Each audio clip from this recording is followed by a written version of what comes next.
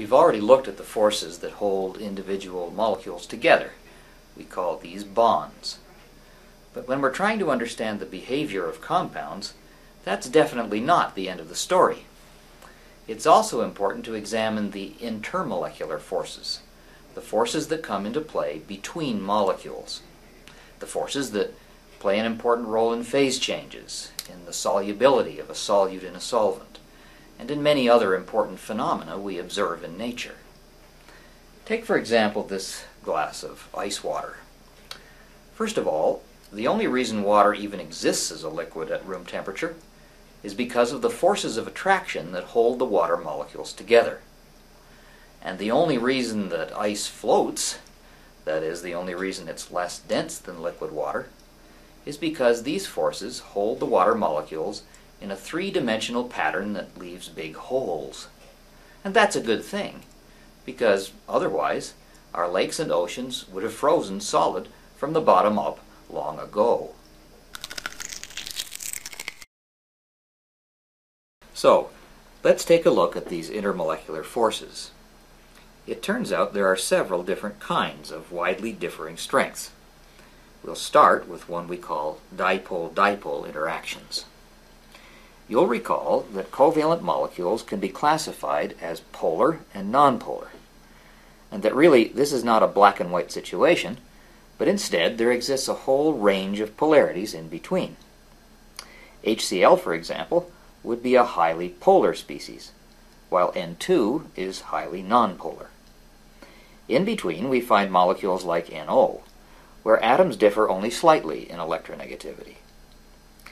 Well, imagine what might happen if two HCl molecules approach one another. The positive end of one molecule would attract the negative end of its neighbor, right?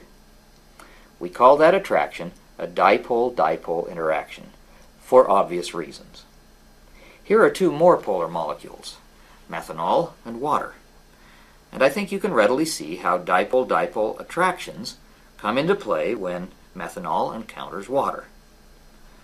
The dipole-dipole attraction accounts in part for the affinity of water for methanol. So, methanol readily dissolves in water. And indeed, the polar solvent, water, readily dissolves most other polar species for this reason. So dipole-dipole interactions are among the strongest intermolecular forces. And since we've been speaking about water, I'd like to introduce a special kind of dipole-dipole interaction, which is especially strong. Let's line up a couple of water molecules like this. Notice that the dipole-dipole interaction encourages this orientation. But notice too that if we show the lone and bonding pairs on the molecules, an interesting thing happens. This hydrogen atom can get confused. From its point of view, it sees an electron pair on the oxygen atom to its right, but also an electron pair on the oxygen atom to its left. Which is the bonding pair? This confusion results in something akin to resonance.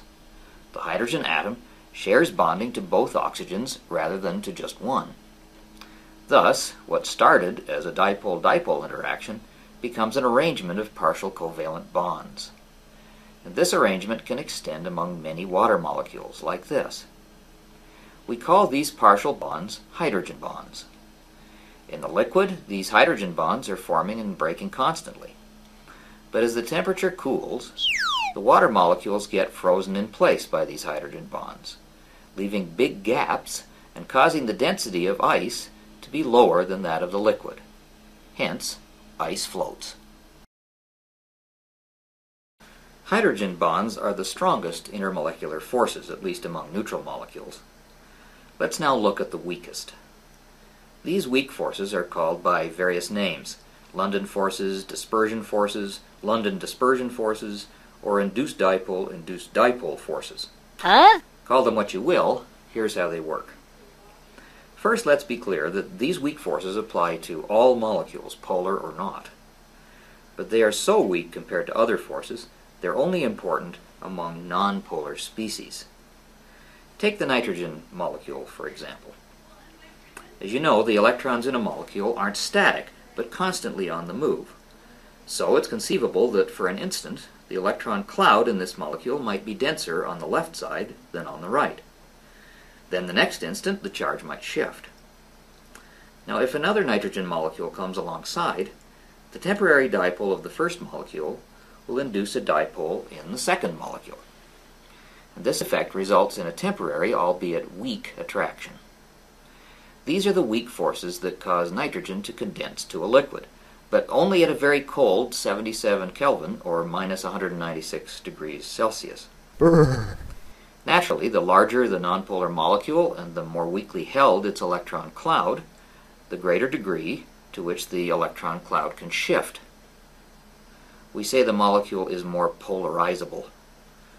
So small molecules or atoms feel this effect much less than bigger ones. And for this reason, we see a regular increase in boiling points among the increasingly larger noble gas atoms as we proceed down the family.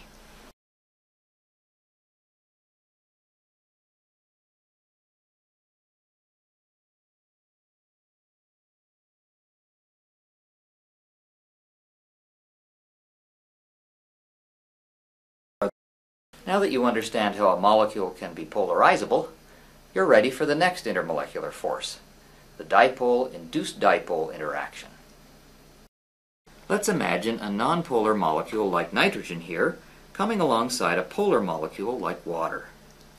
Clearly, the dipole of water can induce a dipole in the nitrogen molecule like this. And when it does, an attraction occurs, doesn't it?